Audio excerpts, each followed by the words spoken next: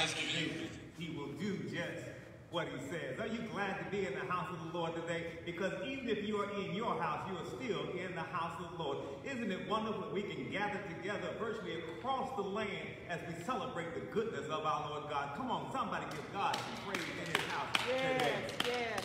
What a wonderful day to be in the house of the Lord. I see we have people from Texas on the line. We have Ohio. We have Mississippi on the line. And we have some of my classmates from high school. We also have some of my running partners. We have people from all over the country on the line already today. California's already checked in. I'm so glad to see you, glad that we can worship together virtually no matter where we are. I want to first thank those who have led us so far on our worship service, our worship experience. I want to thank Barbara Brown and I want to thank Irvina Maynard. I tell you, we got some praying folks here at EPFM.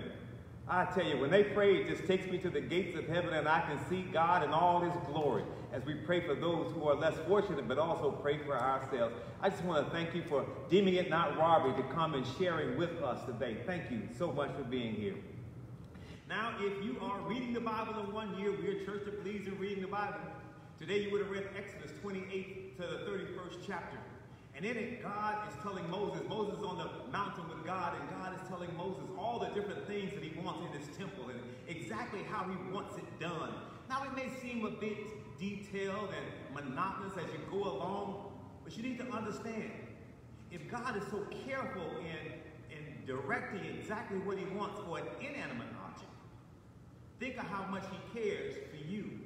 For you were created in his image all the details of your life, he also lays out just as he did for that tent, that tabernacle, that temple. Now, if you are uh, fasting with us, we are fasting 21 days and we'll end it coming up on this Wednesday. 21 days we're fasting. Today is number 18, day 18. And we read John, the 18th chapter, where Jesus is betrayed by Judas and turned over to to the, to the high priest, to Ananias and Caiaphas, and to then to Pontius Pilate. And while Jesus is talking to Pontius Pilate, he says, For this I came. For this reason I came. He came that he might die. Why? Because he knows the truth. Pontius Pilate says, What is the truth? But Jesus couldn't explain it to him. Because Jesus knew he came from heaven and was going back to heaven. He came from God and he was going back to God. And that's what we hold on to in our lives. We know that we came from heaven and we're going back to heaven. We came from God and we're going back to God. You see, the things in this world don't dissuade us because we're not from here. We are aliens here. This is just our temporary situation, but we're going to heaven. We only have three more days. If you have not started fasting with us, join us in our fast. Now, there are many different ways you can fast. You can do a, a, a, liquid fast. You can do a Daniel fast, no bread, no meats, no sweets, a daytime fast, fasting, Facebook fast, except for our worship service. That's not fasting. You can fast from the internet, but we need to give up something to draw closer to God. And then Wednesday at 6 o'clock, we're going to come together in a worship service right here on Facebook Live. It's not going to be a long service, probably 30, 45 minutes, and we're going to end with Holy Communion. So have your elements ready whether it's orange juice and a cracker or whatever it is, it's not about the elements. It's about our great God and his Holy Spirit. Now, I'm looking forward to next Sunday. Next Sunday after worship service at 1230, we're going to have our first session of Make It Plain. If you have any questions about the sermon, and next Sunday we'll be able to talk about this entire sermon series, all five segments of it. What it means to you. What did you learn? What questions do you have? What do we do next? You see, sometimes when we preach, you don't get a chance to ask any questions. But now you get a chance to ask your questions after worship service every Sunday. Not just on that Sunday, but every Sunday we're going to be doing this from 1230 to at least 1 or maybe longer. So we hope that you will join us. It will be a Zoom call. So that information will go out in our e-blast uh, this week. Uh, if you don't get our e-blast, please contact the office and we'll make sure that you get the information. Or you can just put, put your uh, information in, a, in the chat right now and say, hey, I want that information, and we'll make sure that you get the Zoom link as well. This week we lost two giants of, of public life. We lost Larry King, who'd been broadcasting for more than 60 years. And one thing I like about Larry King, he treated everybody the same. There were no big I's and little U's. He treated presidents the same way. He treated kings the same way. He treated the average, everyday person. And that's what we're called to do as Christ. We're not supposed to put people on pedestals. We're supposed to treat everybody the same. And then one that hits home a lot more closely, the loss of the great Hammerin' Hank Aaron. Growing up in Atlanta, uh, we knew Hank Aaron, but he was not an icon because he never acted like an icon. He never acted bigger than anybody else. He was just Hanky and Larry's dad. You see, Hanky was a year older than me, and Larry was a year younger than me, and Larry and I were in, uh, in Sandlot Sports together. So we would see him, and that was just their dad. He didn't put on airs. Anybody could come up to him, he would talk to everybody. I remember as he was chasing Babe Ruth's record, and all the hate mail came, and all the, the, the, threats of violence and death came to him. He still maintained his composure and did what he. That example lets me know no matter what comes at me, I can do what God is calling me to do. That was his purpose, and we all have our own purpose. I was there in the stadium when he hit 715. I was selling popcorn or cokes or something. I don't remember that. But I do remember when he stepped up the bat, the stadium was quiet. Atlanta Fulton County Stadium with probably 30,000 people in attendance, and you could hear a pin drop. Everybody was quiet as the pitch came to him.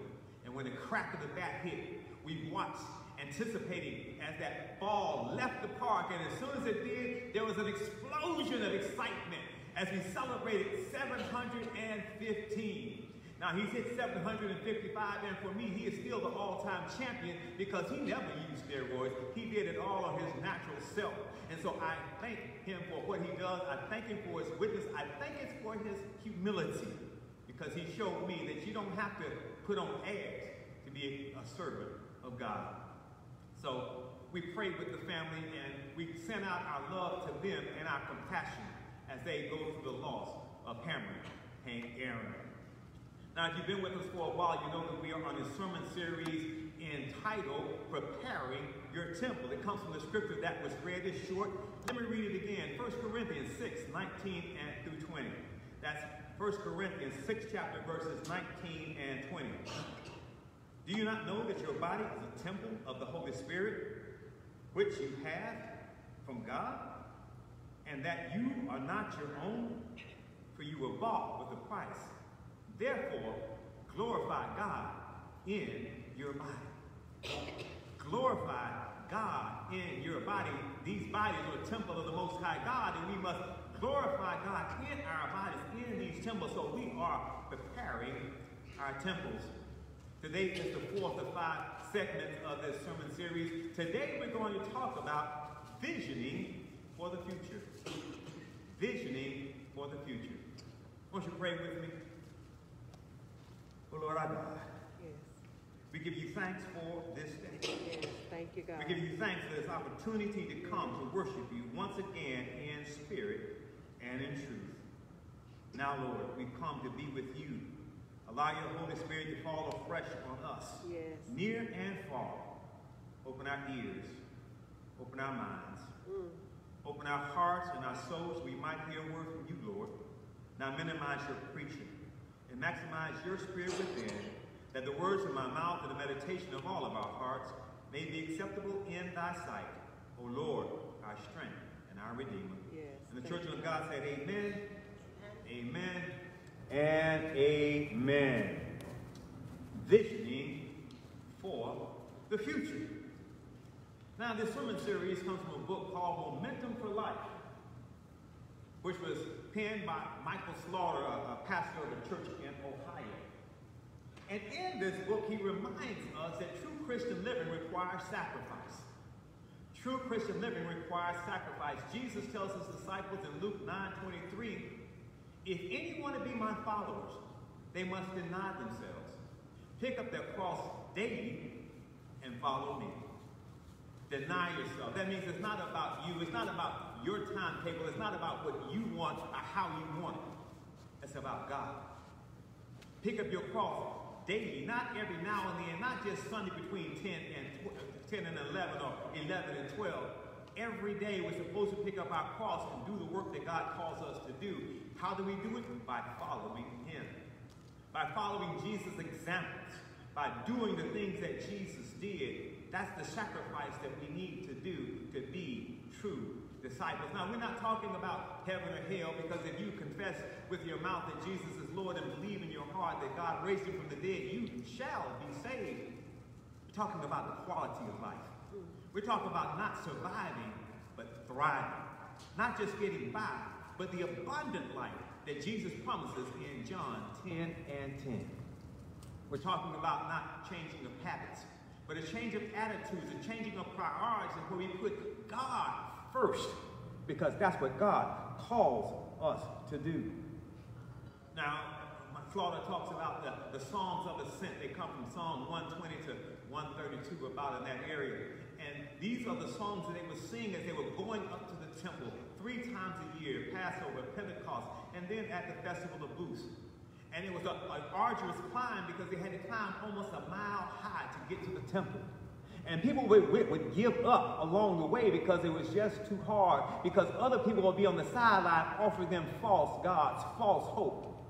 We have that same thing in the world today. When we set our mind that we want to go fully to God and to God's kingdom, there's always somebody on the side that offers us an alternative. You don't have to do all of that. Just come over here and work with your possessions. Your, uh, your, your, your, finances will be your God, and, and uh, your, your, your, your people, your position, your prestige. Those are the things that you really need. But no, we want to go all the way. We don't want to stop short of true transformation because that's what God wants for each and every one of us. In the book, he's an acronym, DRIVE. D-R-I-V-E. You see, we're humans and we are mind, body, and spirit. And he wants to, uh, us to use all of that for God. So the, the, the acronym DRIVE stands for devotion to God. That's the spiritual part. Readiness for lifelong learning, that's the intellectual part. Investing in key relationships, that's the interpersonal part. Visioning for the future, that's the missional part. And then eating and exercising for life, that's the physical aspect of us. And we need to work on all of those aspects in order to do what God is calling us to do. The D, uh, devotion to God. We started with that, and that comes from first uh, to Mark, the first chapter, verse 35, where Jesus leaves his disciples, gets up early in the morning, leaves his disciples, goes to a deserted place to pray. Jesus took time, to get up early in the morning to go spend time alone with God. He didn't carry anybody else with him. This is a one-on-one relationship. So he can get his, his instructions for the day. Too often when we come to God, we tell God what we want instead of reporting for duty. So in this, I ask you to do two things. I ask you to read the Bible and also to journal about it. What does it say to you? Then we went for readiness for lifelong learning. Here we come from Proverbs 9 and 9. It says this, Give instruction to the wise, and they will become wiser still. Teach the righteous, and they will gain in learning. Do you want to become wiser? Do you want to learn more? You see, God created us in his image, which gives us the opportunity to think, to reason. And he gave us these minds, and the only way these minds stop growing, if we stop feeding them. We get to a certain age and we don't want to read anymore. All we want to do is watch TV. We don't want to learn anything because we think we got it all and our brains begin to atrophy or to shrink. But he put us here for a reason. He wants our minds to be stimulated so that we can do the work that he calls us to do.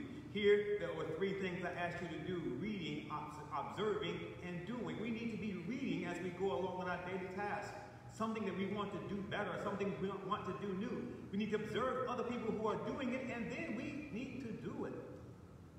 We're talking about preparing our temples. Last week we talked about investing in key relationships. Investing in key relationships, and when we look at it, there are three levels of key relationships. There are God, ourselves, and our families as an extension of ourselves, and then others. God, ourselves, and then others. And we need to put God first and others last. And believe it or not, the church falls in the category of others. That's right. Don't mistake the church with God. You can come to the church every day and work eight hours a day and not go closer to God. It's not about what you do. It's about spending that alone time with God, building that relationship with God. We want to invest in key relationships. And here we talked about mentoring and the three levels of mentoring. We need to all have a mentor, someone who is pouring into us. We need peers that are walking on this path with us that we can journey together with. And then, of course, we also need to have people that we are pouring into. In Luke 6 and 13, Jesus, it says this, when they came, he called his disciples and chose 12 of them, whom he also named apostles. Jesus had more than 100 followers. He couldn't pour into all 100 the way he wanted to. So he chose 12, and he poured into that 12. Who are you pouring into? We can't pour into everybody. We'll just go thin. We need to have people that we are pouring into so that they can grow, so that what we have learned we can pass on to the next generation and the next generation and the next generation. One type of mentorship that I did not mention last week is leadership in the church. Leadership in the church. If you are the chair of a committee in the church, you need to be grooming somebody behind you to take over your position. That's right. If you're a true leader, leaders make leaders. Let me say that again. Leaders make leaders. Just like disciples make disciples. If you're not grooming somebody to follow you, you're really not a leader. Too often, we wait until we are coming out of our position and we say, okay, well, I've served my three years, someone else can take over now. That's not a kingdom mindset. We wash our hands and pass it over. That's not a kingdom mindset. A kingdom mindset is, I've taken it this far, let me help the next person so they can take it even farther. You see, it's not about us, it's about the kingdom of God. So we need to be pouring into somebody else so that they are ready to take over. Don't wait for a committee to tell you who needs to follow you. You tell the committee, I have groomed this person, let them take over the work that I have begun. Which leads us to today. Visioning for the future. Visioning for the future. This is the missional part of our lives. We are all put here for a reason. God did not create anybody without giving them a reason for existing. Do you know your reason? You have to look for it, you have to work for it, we have to vision for the future. Now, some of you might want me to come to Jeremiah 29 and 11, where God says, For I know the plans I have for you, says the Lord of hosts. Plans to prosper you, not to harm you, plans to give you a future full of hope. Now that's a good scripture, but I don't want to start there. I want to go to Proverbs 29 and 18. Proverbs 29 and 18, where it says this Without a vision, the people perish. That's right. Without a vision, the people perish. We need a vision. A vision, Mike Crowder says, is a natural result of living in the fullness of the Holy Spirit a natural result of living in the fullness of the Holy Spirit. You see, if the Holy Spirit lives in you, then the Holy Spirit will help you to develop a vision of what God would have you to do. Now, there are two types of vision. There, there's microscopic vision and there's telescopic vision. Unfortunately, too many of us, especially in the church, have microscopic visions. We can zero in on all the problems, on all obstacles, on the scarcity in the church. But we don't have enough people for that. Or we don't have enough money for that. Or we don't have enough resources for that. That's microscopic vision. But then there's telescopic vision.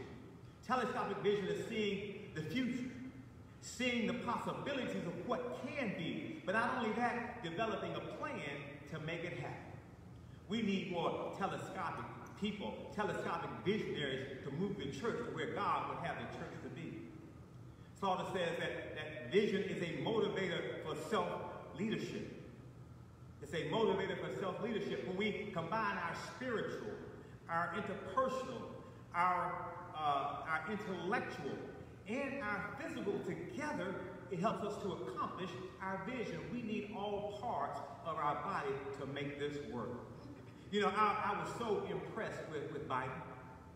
I was so impressed with Biden because he came in the first day, uh, his first full day, he came out with his plan for the month of January. On On the 21st, he was going to do COVID. On the 22nd, economic relief. On the 25th, Buy America, that's tomorrow. On the 26th, equity. On the 27th, climate.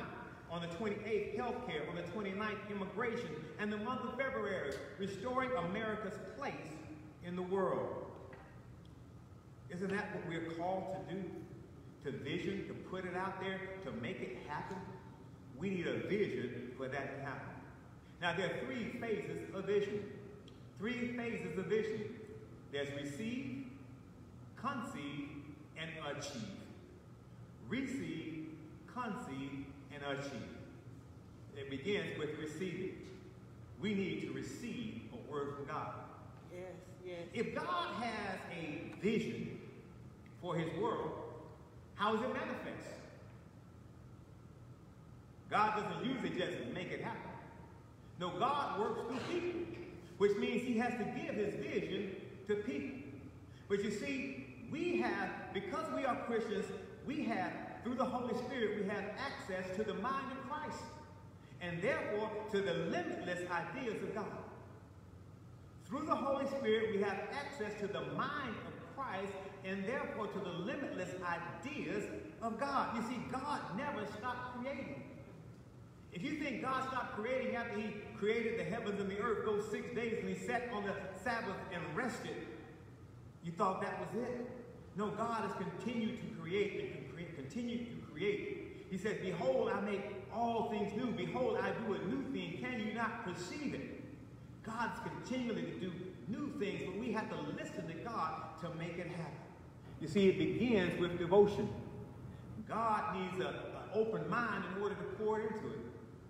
Now, God can talk over the noise in your mind if he desires. But usually he wants your mind to be quiet. He wants you to be still. So if in our time with God, all we do is tell him all of our complaints, all the things that are wrong, all the things that we need him to fix, all the people that we need him to fix, and all the things we want him to bring our way, and then you have to leave from there, we've not stopped to give God a place to work. We need to have an open mind, and that's what devotion is about, allowing God to come in and speak to us. That's how he works. See, Jesus got his vision from God.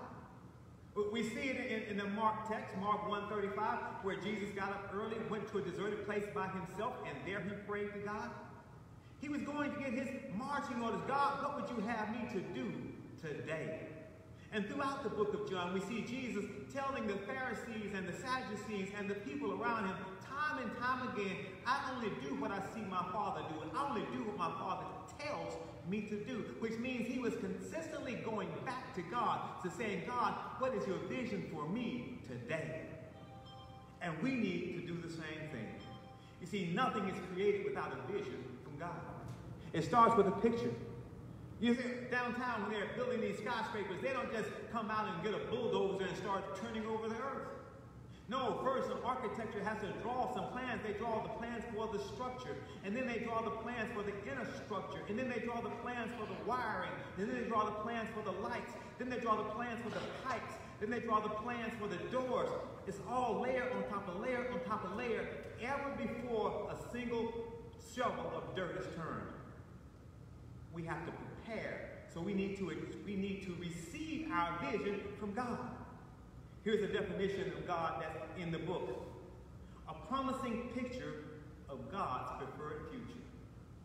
A promising picture of God's preferred future. So first we achieve it. And then, excuse me, first we receive it. And then we conceive it. We achieve, we receive it, and then we conceive it.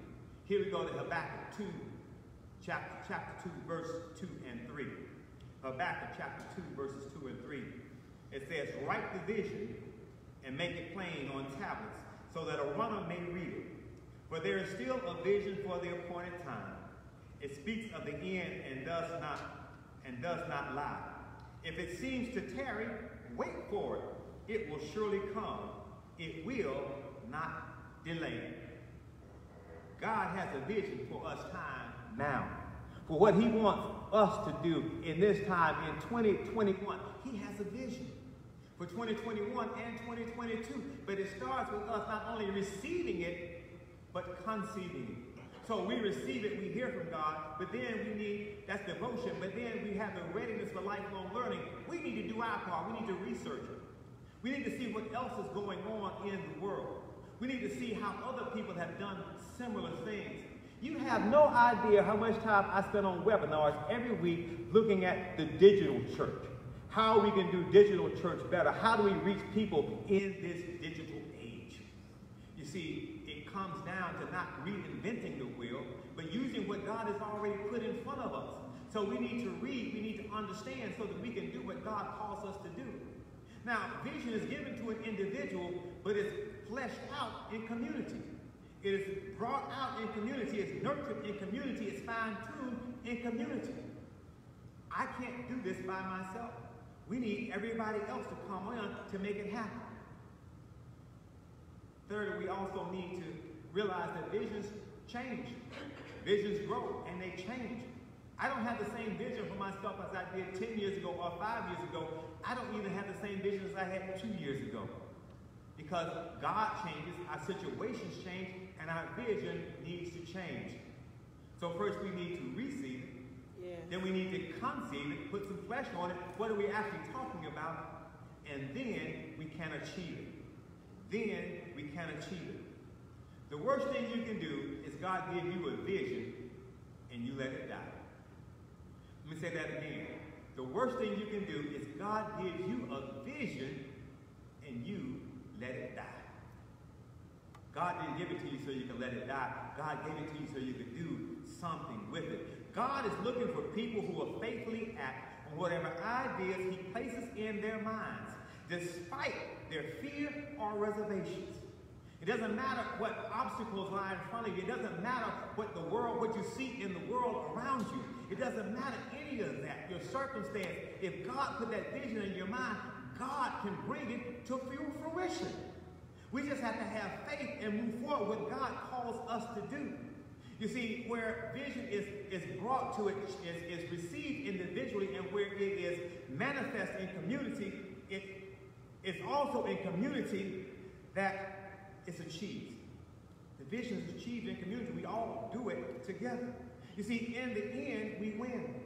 If you have vision, at least your perseverance. When I know what the end will be, I know where God is directing me to. That makes me move forward and continue to move forward no matter what happens. In the end, we win. If you read this book, you know in the end, God wins. His, his power will come forth. His kingdom will be manifest here and throughout the generations. But we have to continue to do our part now. So as long as I know my vision is along with God's vision, I can continue to move forward no matter what I see in my place. Vision empowers us to sing in the midst of our troubles, in the midst of our adversity, in the midst of what's going on, because it may be bad today, but I know that my God holds tomorrow. That's why Paul and Silas could sing in the prison because even though they were bound in bondage, in chains, they knew that their God was greater than any chains. Their God was greater than any prison bars. Their God was greater than the Roman, uh, Roman army. Their God is the greatest ever. We need to have our vision and we need to not only receive it, conceive it, and achieve it, but in order to do that, we need to have a strategic action plan. We need to have a strategic action plan. That's right. We need a plan. You see, the United States Revolution happened because people had a different vision of what they wanted for their future than the people of England. And because they had a plan, they made it happen on January the 6th with the United States insurrection, there were people who had a different vision that they wanted from America. And so they came to Washington to try to make it happen, but they did not have a plan. They thought they could come to Washington, D.C. and upset Congress and break windows and steal laptops and threaten people, and then go back home to wherever they're from, and life would go on as usual. I'm so glad that we have facial recognition now and that over more than 100 people have already been arrested and more are being arrested every day for their participation in that act of insurrection. You see, if you want to make it happen, you have to have a plan. You just can't go off all willy-nilly and just throw yourself out there. That's not how God works. God works to plan. He is a God of order. So here's the question. What's your vision? Your vision? What's your vision for you individually? But also, what's your vision for your church? What's your five-year plan? What's your 10-year plan? I know I have a vision for the church. In five years, I want this pulpit to still be one where truth is spoken to power, where we talk about liberation, where we talk about justice, where we talk about equality.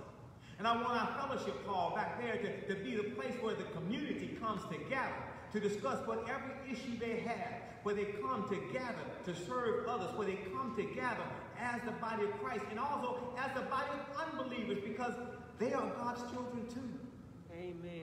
In five years, that's five years. In ten years, I want to see not only that, but I want to have us a, a, a, a after-school program here where kids will come and have their minds expanded. I want a gymnasium on the third floor to be fixed so kids can come in here and play basketball and play sports and enjoy themselves. Get off the streets where they don't have to worry about gangs, where they don't have to worry about drugs, but they can be uh, embraced and they can be nurtured in the loving company of God. Yes, yes. What's your vision? Now, in February, we adopted a new vision statement to be the light of Christ spiritually, physically, and relationally in the city of East Point and beyond. Now, that happened in February, but in March, COVID hit. And so we did not have time to flesh it out. But we need to flesh that out because we need to have a plan on how we're going to move forward and a plan for each part of that. You see, a vision is a better world put into action. A better world put into action. What are we going to do to make our world better? We have to plan for each phase, and we've come a long way. Don't, don't, don't, don't negate that we've come a long way. When I first got here, I went to Big Nick's, which is right across the street. And I was there talking to people, and people told me they thought that this church was closed. Well, they don't think that anymore. They don't think that anymore because they've seen this church in action. We talk about each phase, we talk about spiritually, physically, and relationally. Spiritually, we've increased from two Bible studies to, to four. Sunday school will be restarting soon again on a Zoom platform. We have fast that we do, as we're doing right now, fasting with devotion. We're talking about reading the Bible in one year because this is how we build our spiritual nature. But the problem is we need to get it outside of the people in the church, out into the community. How do we do that? Well, one way we do it is by sharing the message. Talking to a friend of mine uh, this past week, and he said five families have joined his church during COVID. Five families. And I said, well, how did you do it? Because you're totally online. He said, my people told them about the service. My people shared the message. And when they heard the message, they wanted to come and be a part of it. Now, earlier, Barbara Brown asked you to like and to share this message. Are you sharing it? Are you keeping it for yourself? What prevents you from hitting that share button so somebody else can see what you are seeing? That might be the way that somebody gets to know about Christ, where somebody gets to know that God loves them. But if you never share it and keep it to yourself, are you doing what God is calling you to do? That's the spiritual. The physical, we have been here for this community with food uh, distributions on Tuesday and Thursday for the majority of 2020, and then uh, COVID testing every Friday, which will continue, as she says, till July. So this church they thought was closed has had cars wrapped around it three days a week for most of this year. So people know that we are here, which means they're going to come back. But then it comes to that R relationally. We've got to know our neighbors. We've got to get to know our neighbors. There's no way around it. We can't be Christians and not reach out to the people who are right next to us, the people who are in our neighborhood. We have to reach out to them and not just to tell them that Jesus loved them, but we need to let them know that we care about them. Because people don't care what you think until they know that you care. So we need to show them that we care, and when we do that, the kingdom will be realized, and we will be the light of Christ in the city of East Point and beyond. You know, we had plans to work with Tri-Cities High School and, uh, and with the Jefferson uh, Recreation Center before COVID hit. We need to find a way to pick those things back up, even if we do them virtually, because they need the church. And the church needs them. Amen.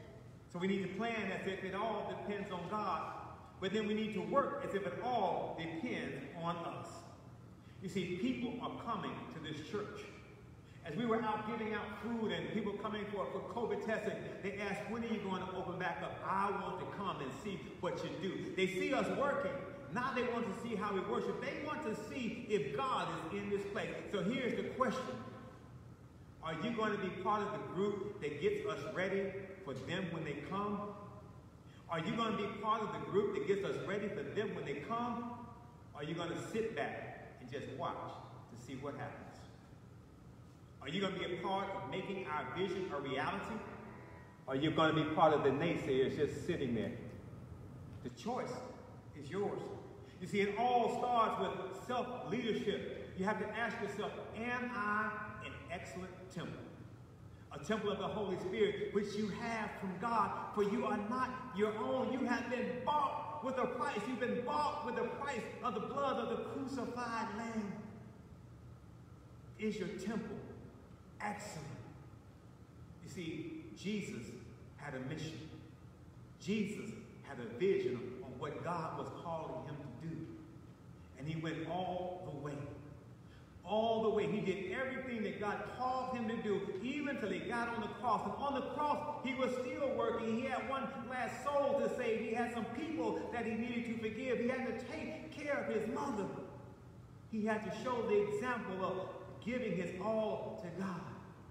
And we know that he died on that cross for you and for me that we might have a right relationship with God. That was his vision that all God's children, men and women, children and, and adults would have the opportunity to become children of God.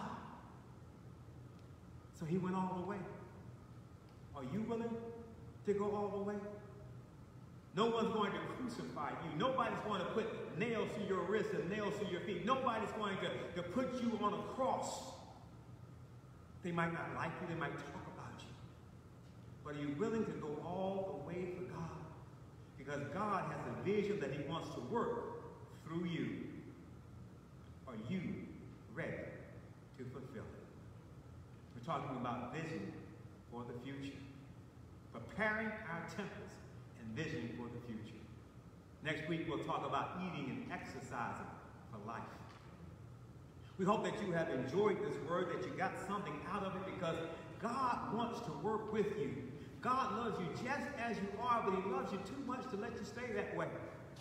He has so much more he's planned for you. So as we go forth, let me give you this opportunity to join the body of Christ because you might not know Jesus as your Lord and Savior. It's a simple prayer. All you have to do is say, Lord Jesus, I'm a sinner. I cannot do this on my own. Come into my life. I make you Lord. That's all you have to do. Don't have to jump through any hoops. Just say that simple prayer and you are born again and you can have a right and you have a right relationship with God. If you want to know more about it, this is your first time you've accepted Jesus, send me an email, pastor at epfmumc.org. Pastor at epfmumc.org. And we'll talk about your next steps. Now, before we leave, we don't want to leave without giving you an opportunity to sow a seed into this ministry. There's six ways you can give. You can go online to epfmumc.org and give there. You can give through the Give Plus app. You can also give uh, uh, by texting the amount that you want to give to 404 567 5052. That's 404 567 5052. You can mail the check or money order to the church at 2651, that's 2651 Church Street, East Point, Georgia, 30344. Or you can drive by and put it in the mail slot. The sixth way, you can go to your bank, uh, and usually online, and make a recurring gift to the church so you don't have to worry about writing a check. So these are the ways that you can sow into this ministry as this ministry continues to sow into you. We hope that you have a wonderfully blessed day, that something happened today that would touch your heart, that would change your life because we're talking about preparing our temples, preparing your temple. Have a wonderfully blessed day and know without a doubt that God loves you. Amen. Amen. Amen.